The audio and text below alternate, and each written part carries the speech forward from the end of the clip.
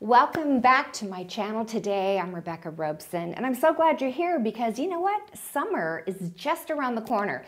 So this video is extremely timely. You know Brenda? There is no reason to put your life at risk. I'm going to talk to you today about outdoor decorating. I mean, who doesn't want a, an oasis, right? Something that just draws them to want to go and spend time outdoors. Well, let me tell you this. When it comes to exterior decorating, it's very much like interior decorating and kind of like Christmas decorating if you think about it. It's a process and it's something that takes time in order to gather the things that you need, the different pieces of furniture. But if you make your choices smart when you make them, then every year, every summer, you can build on what you've already purchased, thus getting you closer to that end goal of making something absolutely fabulous.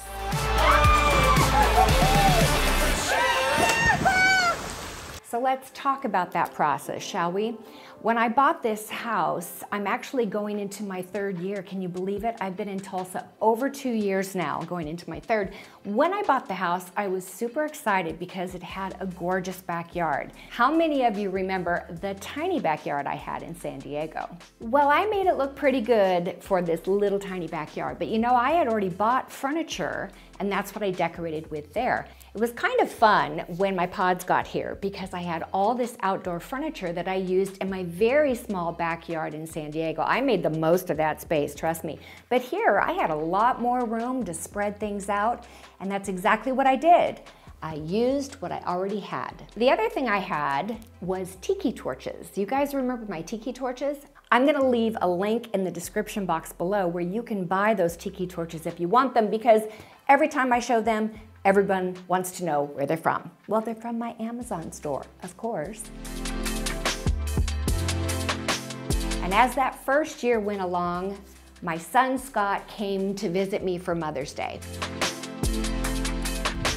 Found it. Nine dollars.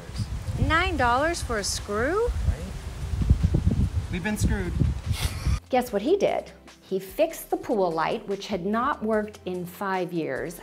I couldn't believe that a single light bulb, just a single bulb, would light that pool water up like there's no tomorrow. And it's working, and I bet at night it's gonna look so good. It'll light up the pool and it won't be a dark hole. Thank you. I bet at night it just, it'll shock everybody. Honey, thank you. Yeah.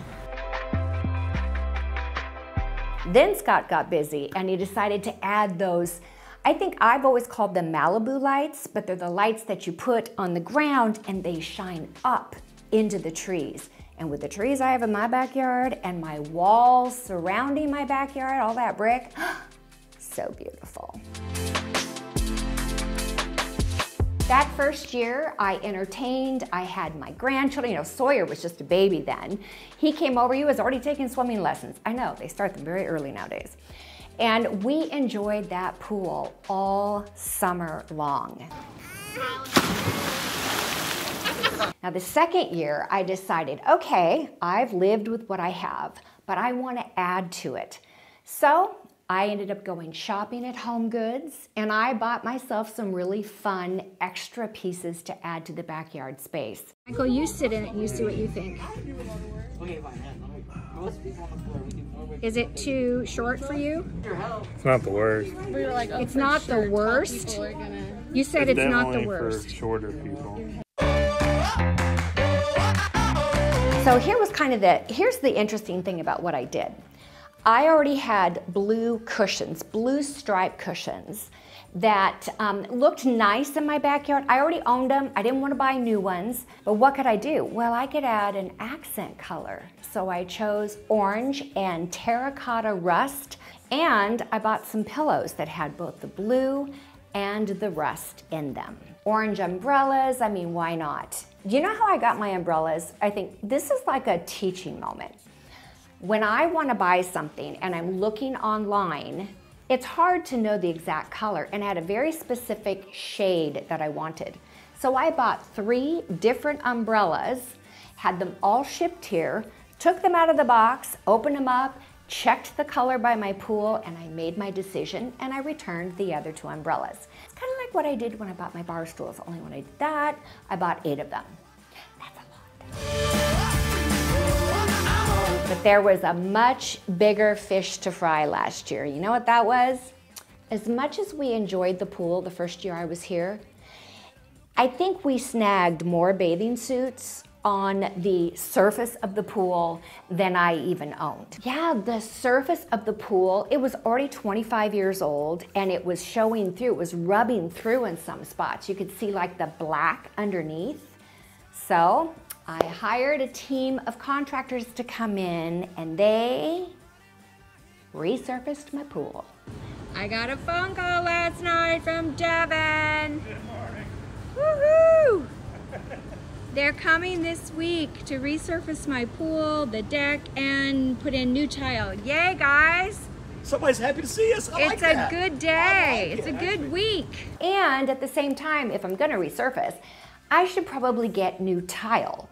Did I mention that the old tile that was on there had popped off in places? Some, some of the pieces were broken, and I could not get that same tile. So it meant jackhammering out all the existing tile. I know, right? Guys on scaffolds inside my pool, my empty pool. I should have made it into a skateboard park. That would have been fun. The guys are here this morning finishing up with the tile work. Just a little section there left, and then we're gonna grout it all. Actually, this part has been grouted. So yeah, they're almost done with the tile work. Yay! And it's supposed to rain today. And you know what else they did? They resurfaced all the way around the perimeter of the pool because that was chipping and basically, here's what I have to say. 25 years ago when this pool was put in, I'm sure it was the bomb diggity. But 25 years later, it really was showing signs of wear and tear. And it was just time to have it redone. Look how clean and nice this is. It used to be so grody. I could not be happier with how this is all turning out. I'll tell you, these guys are perfectionists.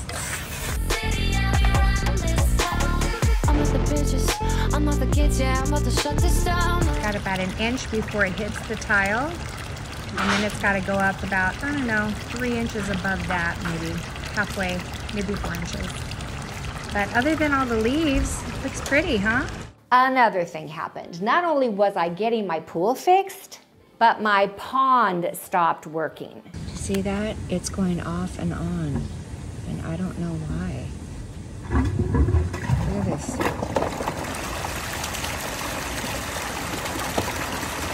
Any idea what that is? Look at that. Do you know that I had a water bill last year, my first year here? In December, my water bill was a $1,000. I called Tulsa Water. I said, $1,000 for water? I mean, it rains here for goodness sake. I came from California and, I, and there's a drought there and I never had a $1,000 bill. Guess what we found out? My pond had a leak in it. There was a hole in my bucket, dear Liza, a hole. My pond guys are coming today and they take they tell me it's going to take two days to finish the pond. Eric and Paul the plumber got it this far and now it's a matter of removing the rest of the rocks. Apparently this part goes really deep and make the pond work better and not have any leaks, which will cost me a lot less money in the end. Look at all that. They had to go way down deep in there. Oh my gosh, they already did it. I didn't even see them put the liner in on the other side. Does the liner go all the way up? Sí, The blue? sí, vamos a emparejar.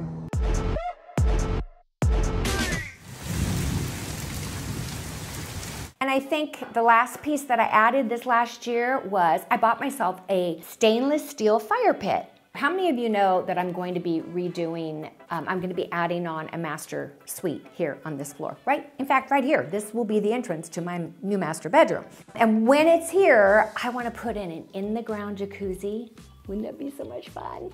And an actual fire pit. But for now, this stainless steel one was very affordable and it works, it does the job. So now that I have you up to date with the last two years of my backyard in Tulsa, which has looked pretty good along the way, this year, year three, I'm taking it over the top. I mean, not financially, but just from a, a visually beautiful standpoint. So what did I do? I bought some new pots. So yeah, these pots have seen better days. They're actually full of these little worms that look like centipedes. So I'm gonna replace all that before I put my new flowers in. This one's like downright broken. I went to Home Goods and Lowe's and Home Depot and Ace Hardware. I have been the gamut of all these ready-made, you know, things you can get quickly stores here in Tulsa. We're about to start in on revamping my outdoor space after all the freezes and all the cold weather here in Tulsa. And uh, it's actually raining today, so it doesn't seem like an outdoor space day. But I just uh, happened to drive by this amazing nursery and I just picked out those purple and pink hydrangeas. Aren't those gorgeous? This one. Yep, shorter. Yeah. Okay, sounds good. God, these are some of the most beautiful hydrangeas. Have you ever seen anything like this, you guys? Now look at this with these colors, the purple and the orange and the yellow. Ugh, so beautiful. All right, I'm at Home Goods and I'm gonna see if they have any outdoor pillows because I never got the amount that I wanted last year when I was gonna do a full remake of my backyard. And so I'm see what they have this year. The, the ticket, the, the way to do well at Home Goods is to get there very early in any given season, whether it be Christmas, spring, summer, whatever. The earlier you get there, the better the selection. I'm at my second uh, Home Goods. I just found out there are only two Home Goods in all of Oklahoma, and both of them are in Tulsa. This one is about 40 minutes away from the last one. So I took all the plants home, emptied my trunk, and I'm ready to fill up again. Let's see what they have here. Can you tell? It's raining out there. okay, well, I had moderate success at this Home Goods. Now I have to drive back 40 more minutes to the other one, which doesn't make any sense to you guys, but my car was full, so I had to empty it, and I, my, I live in the middle of these two Home Goods. So it was a matter of me driving out here and then driving back. So I'm gonna go get the pots and then I consider myself having had a very successful day. Noah and I are going to start placing the furniture and all my outdoor pots. Okay. When I get my outdoor pots placed, you'll know where to put a drip system for those because Okay. those pots, those flowers need to be watered every day. I mean, that's like adopting a child.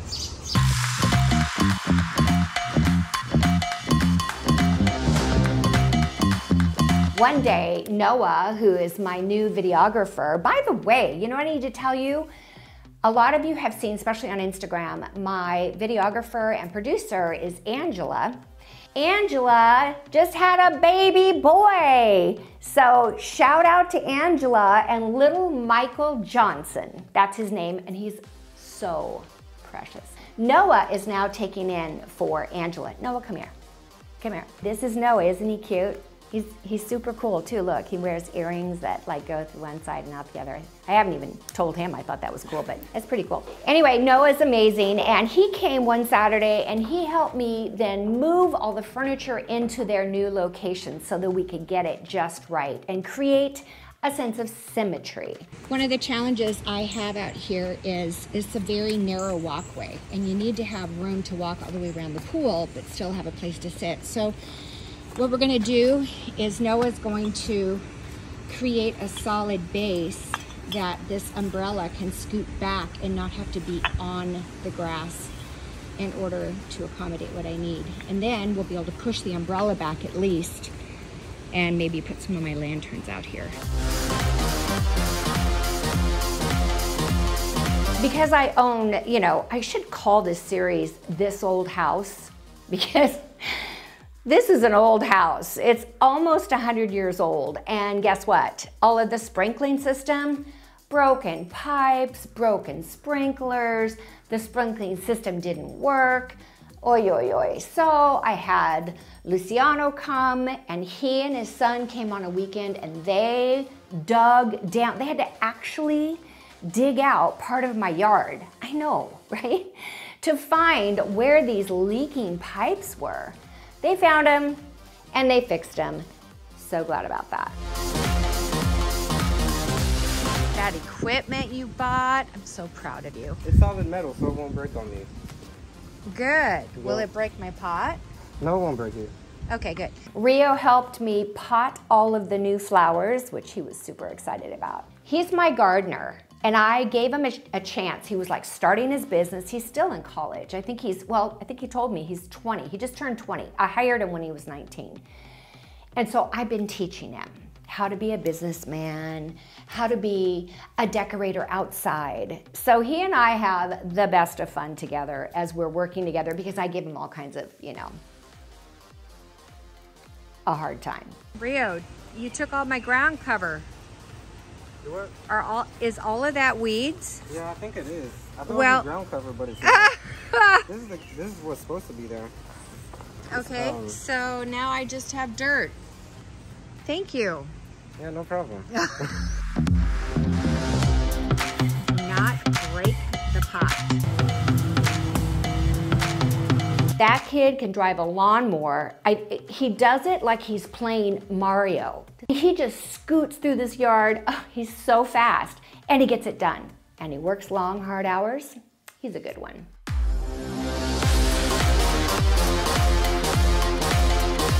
One of the biggest things I did, super excited about it, I had the people who put my Christmas lights up on my house, I had them come back and put market lights up on the back in the backyard overhanging like they they droop. Oh my gosh, it's so dramatic. It's so gorgeous. Those are hanging now over my patio.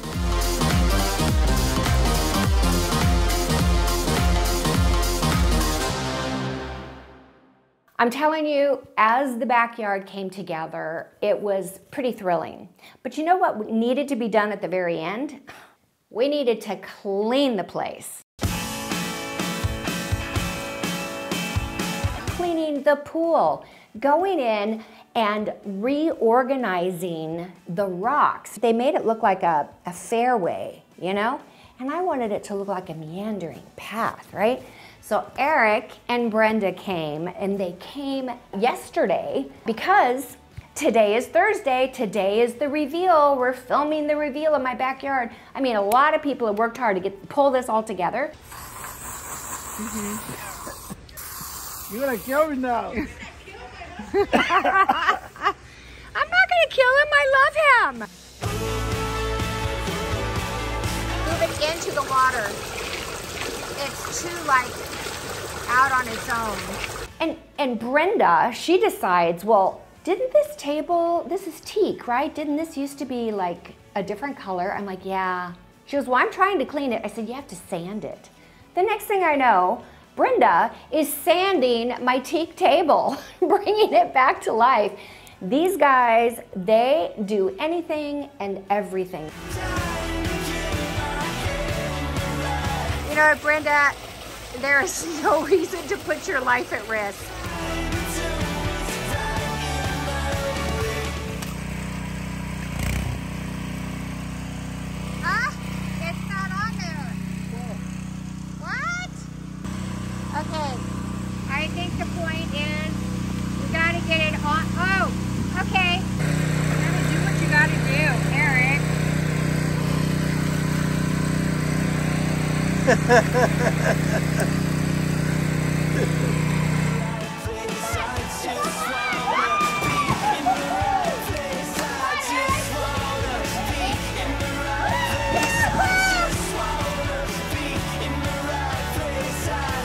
here they are now at my house helping me with every aspect of getting ready to film the reveal of my backyard.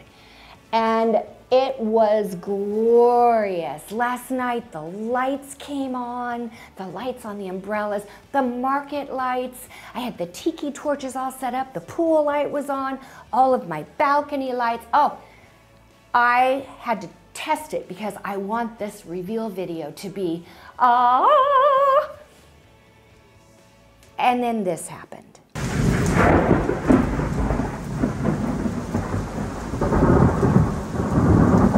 It's raining.